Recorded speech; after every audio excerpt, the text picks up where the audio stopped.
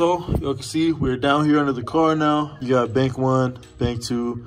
Um, like I said, they're V-bands now, so we want it as high as possible. The couple of hitting points we have is um, we got the car's frame right here, we got the transmission right here, and we're gonna need enough space for the piping to be able to do its thing and get through here.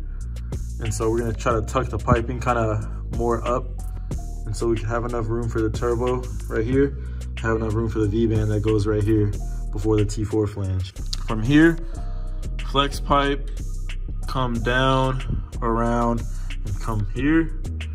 And then that bank, we're gonna have it go here, kind of come along the transmission, come all the way almost out past the turbo, and kind of do a loop downward. And then we're gonna have it do a nice transition into this pipe that's already coming this way. And they'll meet together, go into the V-band right there, and then boom, turbo right there. So we're gonna have to adjust the clock. Obviously, this is gonna have to come way more up, so it could be pointed this way. And the charge piping for the cold side is gonna go this way and kind of make its way that way. So let me get some of the metal. Uh, we're gonna start mocking things up, eyeballing, marking, and then uh, we're gonna start cutting. Here we are from the front way now. This harness is for the O2 sensors that go um, after the cat. Not gonna be using this, so for now I'll kind of just tuck this up the way.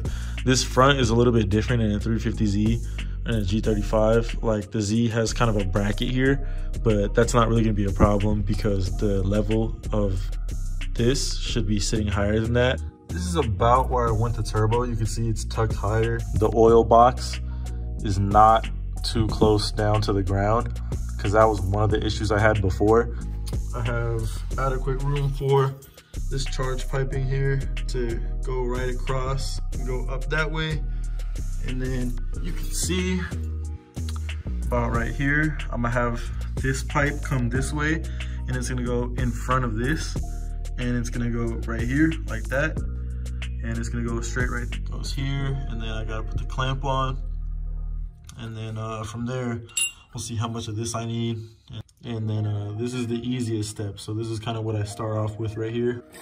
So the V-band's just kind of chilling there. It's not all the way on or tight.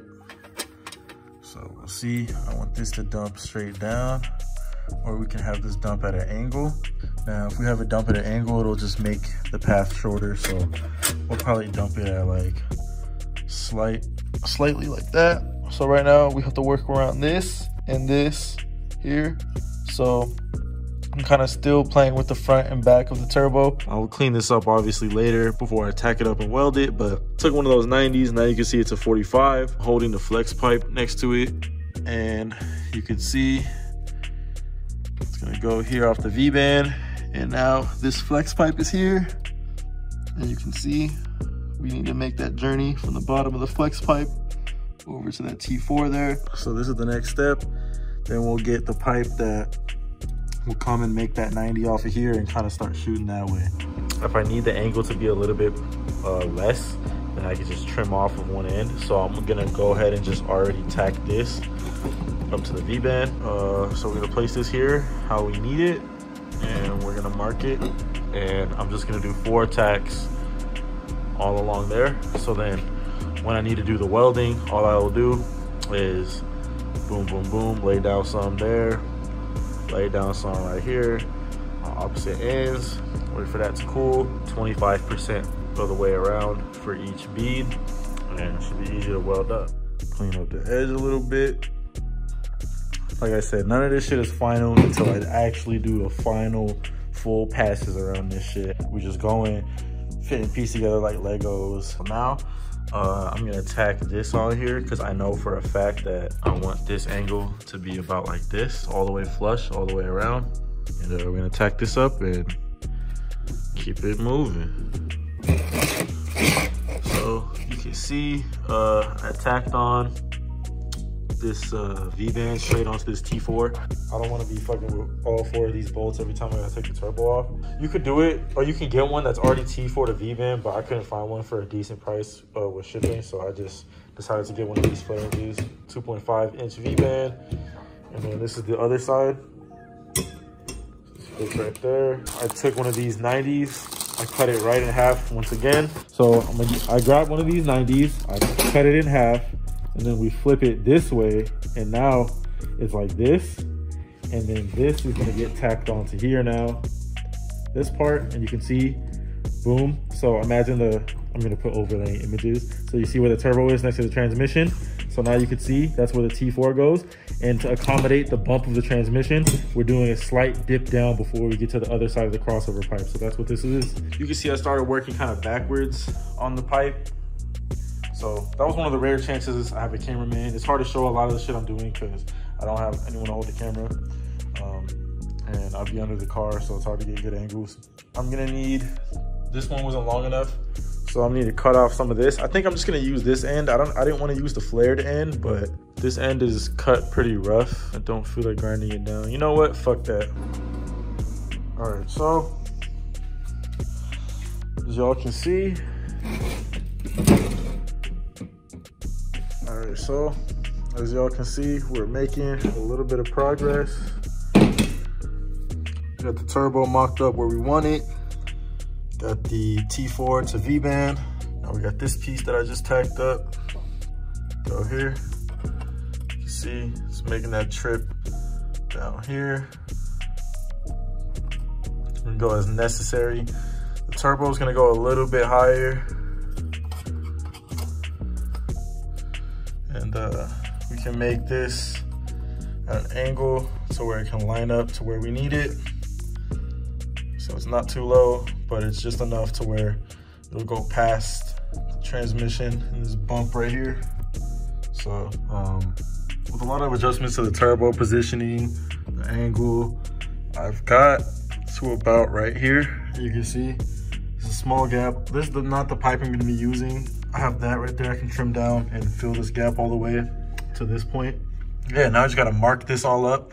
It's just all eyeballing and just playing around with the position of everything. I can get a different pipe cut up that fills this whole space. And then uh, I can get tacking and see if we get cracking. Start doing bank one and uh, get that shit to where it merges right there. And then boom, we halfway there. Not long enough, so we're gonna cut this piece down and I measured how much the gap was. So we're gonna do an additional a little bit more extra than that. So we still have room to grind it down and get it all smooth. I got this other pipe and it's pretty close matched up. So it goes V-band about 45 degrees down. Then it goes this flex pipe. Then it goes 90 into this straight right here. And then it's gonna meet up with these two 45s 45 up and then 45 back down. So it used to be a 90, but it's flipped. And it goes into the V-band, into the T4, into the turbo. So that's pretty much the left side here. Obviously, I gotta do the hole for the wastegate and um, finish tacking up all these. Uh, gonna start marking up the passenger side bank one because this will all be here and floating and we'll see where we can bring it. Boom, so you saw while I was down there supporting this up, I seen how much of a gap I had left, measure how much I need off of that pipe. Then I knew how much more I need off of the new pipe. Gave it a little tacks where it is. Now we about to bring it under there, see if it fits where the turbo at. Ready to move on to how we're gonna start this bank two. I'm probably just gonna go around this way and then come straight down, do a nice loop right here, and we're gonna go right into this pipe but we're not gonna go straight at it so it's like a harsh perpendicular angle. I'm gonna definitely have it where it kind of curves a little bit before it merges with this pipe so I can at least have some sort of, you know what I'm saying? So I can have at least some sort of um, direction that all the air can flow to rather than this air just flowing this way fast and this air just clashing with it. Um, you know what I'm saying? This is a stock block, you know, low boost application anyway, but uh, we'll still give it a little bit extra effort. Now that we found this and we have the position of the turbo set in stone, we can kind of lower this down and put the turbo away. And I'm gonna keep the turbo in here for a little bit. Let's see what kind of angles you wanna go with right here. But um, after we get this initial leave off of bank one, then, uh, then we'll move this turbo out the way. So here's the front of the car can see the sway bar right there. And you can see a subframe, power steering lines, and there you go. Here's the piping, so it doesn't dip down too low. On this part, on the new manifold, I fucked up pretty bad. So I had to cut it about right here. And now this is, I'm remaking that part. So this is the remade part now. And now we're starting to work on the merger so we can move on to the next bank. This part right here of the crossover pipe is on the car right now. Getting some measurements for the merge that's gonna go right here. So to make the initial downturn on the new pipes, we used half of uh, half a 90, we used a 45. So the other half of the 45, so the other 45, I took it and I got it down to about this right here. So you can see it sits something like that. You can see it's still a little bit gap right there. I gotta do some finishing touches, but you see it kind of comes out like that. So it has some, it promotes some sort of flow into this. That's good. So now we're gonna mark this up so we can uh, have the outline and cut the hole for this because last time I did this, I forgot to cut a hole. Then we're gonna tack that on and go from there. You can see it's gonna aim upward. It's gonna shoot up this way and then we're gonna have the other pipe. Boom. Come right down here, roughly like that. And then move the turbo out the way so that my wrist can come here and I can do this. You're holding three pieces, the V-band, 190 and another 90. So obviously bank two is here, bank one is on this side. This V-band is gonna be pointed up this way. Something like this.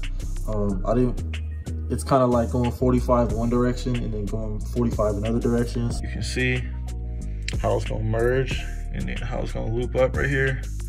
It's a better representation. I'm just holding the pipe like this and you can see heading up towards the header right there. All right, so I ran out of welding wire, so I gotta continue this whenever I get some new wire. I kind of got that mocked up right now in between, like it's like smaller than a 45 now.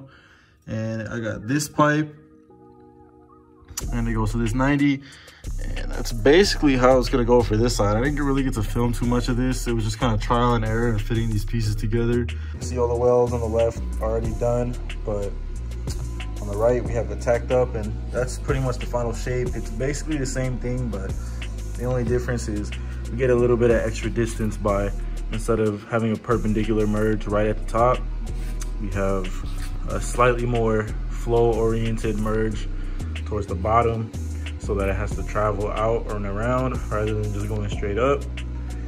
And that should give it more of an equal length and that should make it sound more like a Z, more like a traditional VQ rather than how I had how that one sounded.